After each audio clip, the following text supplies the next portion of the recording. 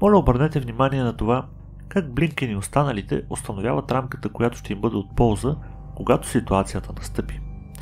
Те настоятелно отказват примирие в момента, защото знаят, че скоро ще имат нужда от такова.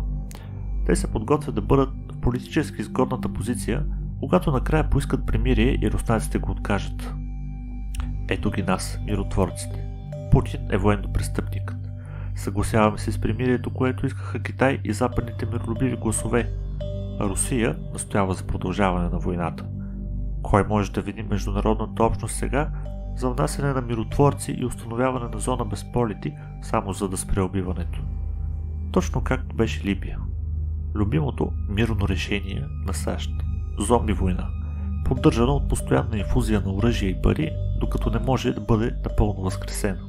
Един от основните елементи в това настройване е идеята, че в тази ситуация САЩ ще приеме примирие, което е било предложено от Китай. Те наедно ще изречат сценария, който е написан от западни политици и медии, подготовка за деня, когато те наистина искат примирие. Няма конкретно предложение за прекратяване на огъня или план за мир от страна на Китай. В смисъл на конкретен план за незабавни действия за прекратяване на бойните действия, а блинкините, които формално го отхвърлят, знаят това – Добре, вие и Китай сте постигнали желаното. Да дадем шанс на мира. САЩ нямат намерение да приемат предполагаемото прекратяване на огъня, предложено от Китай. Имат план за изискване на такова по свое желание и на своя полза. Но те ще искат да ви накарат да мислите, че правят първото. Каквито и критики да заслужава, САЩ в момента не предотвратява обявяването на примирие. Когато Антони Блинкен казва, за някои идеята за примирие може да бъде примамлива и разбирам това – но това няма да бъде справедлив мир.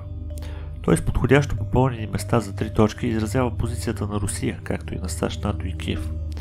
Нито една от страните в този конфликт не иска примирие в момента и няма да иска, докато никой от тях не счете, че е необходимо, вероятно защото губи. Китай знае това и не е направил никакви предположения, че всички трябва да отложат своите основни интереси и цели и да спрат да се бият в момента. Ето цялото предложение на Китай относно прекратяването на враждебностите и единственото споменаване на прекратяване на огъня в 12-точковото му положение за политическо уреждане на кризата в Украина. Точка 3 пише следното. Прекратяване на враждебностите, конфликтът и войната не предоставят полза на никого. Всички страни трябва да бъдат разумни и да се въздържат, да избягват разпалването на огъня и влушаването на напрежението и да предотвратят кризата от това да се влуши още повече или дори да излезе извън контрол.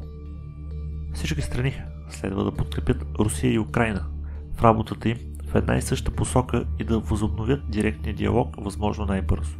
Да намалят напрежението постепенно и да постигнат крайната цел на общо прието прекратяване на огъня.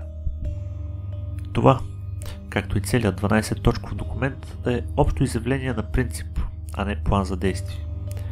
Той е толкова неутрално, дипломатическо и необвързващо, колкото може да бъде езикът. Нямам идея как някой може да извлече план за мир от това. Харесвайте го или не, Китай внимателно избягва да каже на някои от страните конкретно кога и как да прекратят бойните действия. Последно се говори за това Китай да се обедини с Бразилия, за да изготвят мирен план за Украина още спекулации и желания за мисли, които в момента нямат никакво конкретно значение. От други изявления и действия знаем, че Китай развива ценни взаимоотношения с Русия. Но Китай бива много внимателен в своята дипломатическа реч към конфликта в Украина, като избягва явно да вземе страна или да натисне за план, като вземе страна. Ако и когато Китай почувства, че е необходимо да предложи конкретен план, ще го направи и малко вероятно е да му е нужен лула за това. Всеки иска Китай да бъде на тяхната страна. В този момент някои неокони могат да мислят, че когато предложат своя план за прекратяване на огъня, Китай ще приеме идеята, че това е собствен план на Китай. Когато Китай не го направи, както е много вероятно, неоконите определено ще го използват като доказателство, че Китай, както Русия, е неискрен военен заговорник и напуска собствения мирен план. Освен всеки, който сега казва защо САЩ не се съгласява с предложението на Китай за прекратяване на огъня, помага да се създаде тази линия на мислене. Така че отново, какъвто и да е плана за прекратяване на огъня, който САЩ, НАТО и Киев предлага, Когато се изправят пред перспективата за предстоящото поражение в Украина, няма да бъде китайския план, а американската неоконска игра. Малко вероятно и Китай да помогне за налагането на нещо, като това на някои от страните. По-скоро Китай ще играе значима роля в разрешаването на този конфликт като трета страна, която наглежда договорените условия за капитулация на Украина съгласно руската позиция. Моля обърнете внимание на още един важен елемент от различните предложения, които ще бъдат представени в тази ситуация. Най-трудното изискване от страна на Русия, което почти изисква тя да се предвижи към Киев, е призивът за денацификация. Това е изискване, което ще бъде най-много оспорвано като политическо вмешателство, тъй като наистина изисква смяна на режима в най-дълбокия смисъл на думата. Вече съм казвал колко почти невъзможно ще бъде това в Западна Украина, но ето нещото. Независимо колко е невъзможно това, то е необходимо, както за американския план за прекратяване на огъня, така и за руския проект.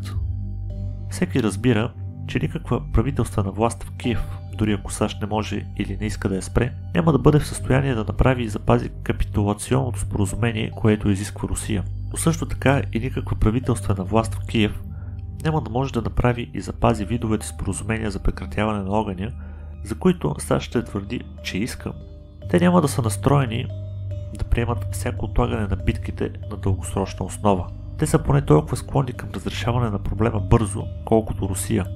И по този момент навярно са съмнителни колко е надежда на дългосрочна база Америка. Те видяха как американците разрушават една страна и след това си отиват у дома. Те също така виждат растящото налягане върху европейските правителства. Ще убият Зеленски или всякакъв друг лидер, който се съгласява с вид на продължително прекъсване на бойните действия в такъв план, освен ако САЩ не им гарантират, че това е още един измамен план, който ще служи за подготовка на бъдещата атака скоро. Руснаците ще разберат, че точно това е, което са направили американците. Така че ако Русия не принуди Киев да извърши денацификация на режима, САЩ ще трябва да го направи, за да успее планът на която и да е страна. Русия и САЩ знаят това. Русия се сблъсква с този проблем, а САЩ не. Това е една от главните причини, защо Русия не може да се доверява на прекъснатия огън на САЩ. Това, което виждам, е неуспешен опит да се привлече Русия в безкрайен мирен процес, който всички, както казва Китай, искат. Както казва Емануел Тот, Русия не може да се отегли от конфликта. Те не могат да се отпуснат. Това е причината, поради която сме в конфронтация, чието резултат трябва да бъде колапс на едната или другата страна. Войната ще продължи докато едната страна, Украина, приеме поражението. Или светът ще бъде изкаран в ядрен обмен. Благодаря ви, че изгледахте този клип.